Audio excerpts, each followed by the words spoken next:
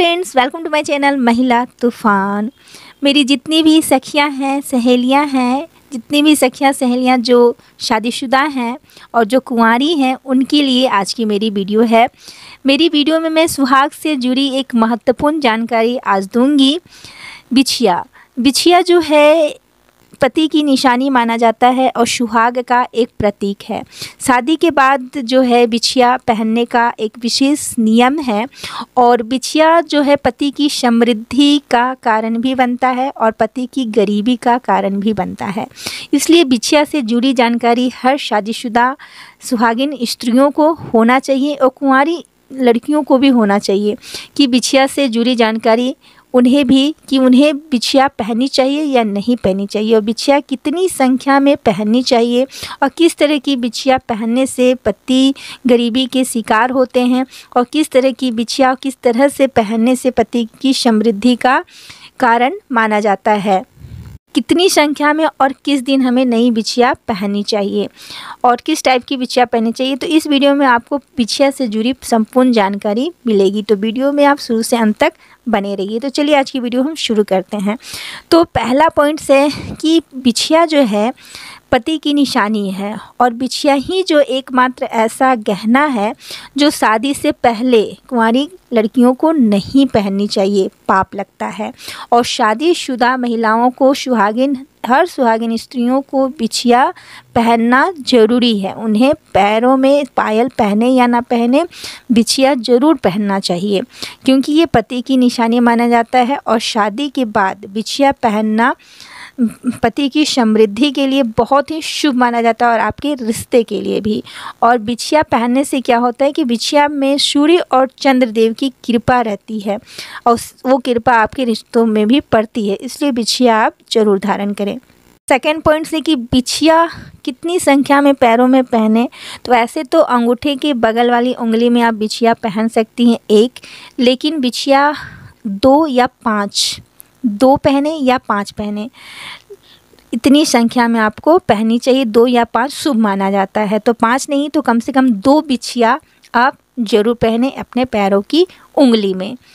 और बिछिया किस तरह, किस टाइप की पहननी चाहिए? तो अगर आपकी बिछिया में छोटी घुंघरी वाली बिछिया हो तो बहुत ही शुभ माना जाता है। ऐसा माना जाता है कि घुंघरू वाली बिछिया जो है माता लक्ष्मी का प्रतीक या वास माना जाता है। इसे माता लक्ष्मी बहुत प्रसन्न होती है।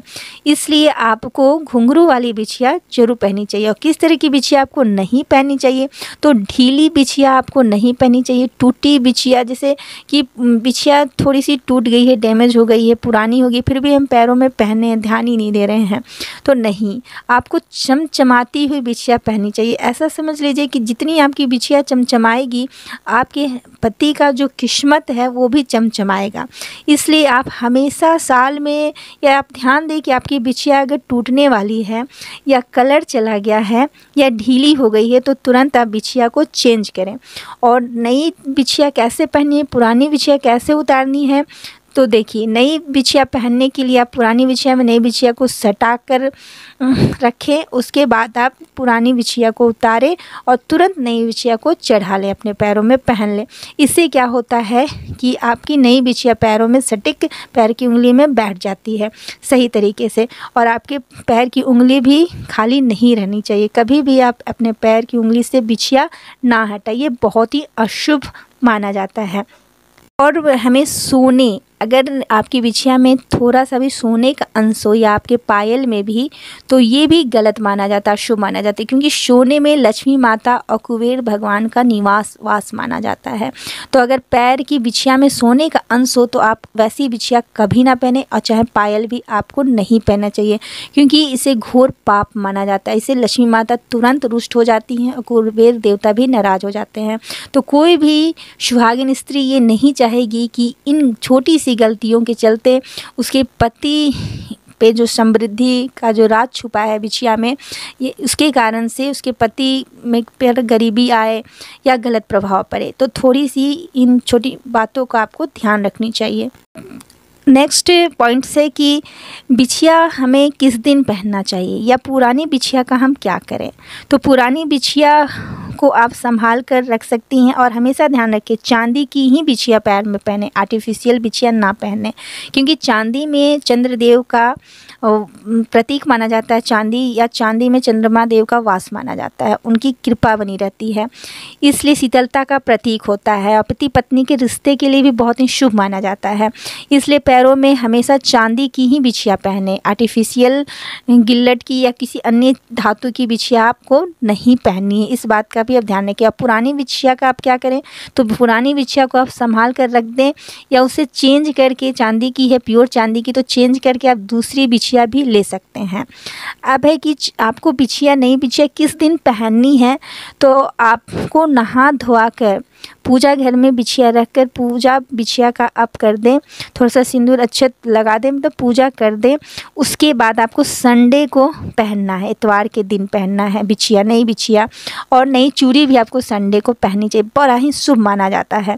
लेकिन याद रखें, मंगलवार के दिन, मंगलवार को कभी भी आपको नई बिछिया या नई चूड़ी नहीं पहननी है, इस बात का आप खास ध्यान रखें। बिछिया पहनने के फ़ायदे क्या हैं? तो नेक्स्ट पॉइंट्स में बताऊँगी कि बिछिया पहनने से क्या होता है। अगर अच्छी तरीके से घुंघरू वाली चांदी की ही बिछिया पैरों में पहने तो धार्मिक मान्यता ये है कि पति की समृद्धि का राज बिछिया में छुपा है और सूर्य और चंद्रदेव की भी कृपा हम, बिछिया पहनने से हमारे पति पत्नी के रिश्ते में पड़ती है। तो अच्छा माना जाता है, शुभ माना जाता है।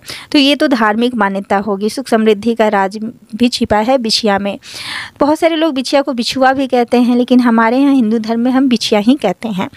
तो बिछिया पहनने के क्या फ़ायदे हैं? तो मानसिक तनाव। जो स्त्री, जो सुहागिन स्त्री बिछिया पहनती है तो मानसिक तनाव का शिकार नहीं होती, मानसिक तनाव कम होता है। और मासिक धर्म या चक्र में भी वो अपने आप को मतलब अच्छा महसूस करती है, चेहरा हमेशा चमकता रहता है, उन्हें ज़्यादा परेशानी नहीं होती है। और संतान अगर गर्भवती हैं तो संतान फलीभूत होते हैं। बच्चियाँ पहनने से संतान पे भी असर जाता है। इस बात का भी आपको ध्यान रखना। है ब्लड सर्कुलेशन भी ठीक रहता है। तो साइंस के अनुसार, विज्ञान के अनुसार भी बिछिया पहनने के अनेक फ़ायदे हैं। इससे हमारा स्वास्थ्य अच्छा रहता है, हम चुस्त दुरुस्त रहते हैं।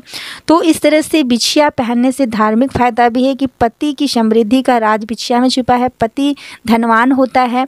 अगर सही तरीके से पत्नी बिछिया पहनती है तो और अगर पत्नी ढीली बिछिया पहनती है, टूटी बिछिया पहनती है मतलब टूटी मतलब ढीली पुरानी बिछिया पहनती है तो पति गरीब कि पति की गरीबी शुरू हो जाती है, पति की गरीबी का कारण बनता है। तो बिछिया से जुड़ी जानकारी आप लोगों को आशा करती हूँ, अच्छी लगी हो। अगर मेरी वीडियो अच्छी लगी हो तो लाइक करें, शेयर करें, कमेंट करें, मेरे चैनल पर नए हैं तो सब्सक्राइब करें और हमेशा नई बिछिया पैरों की उंगली में धारण करें और अपने पति की किस्मत को चमकाते रहते हैं। Thanks for watching my video. जय हिंद, जय भारत।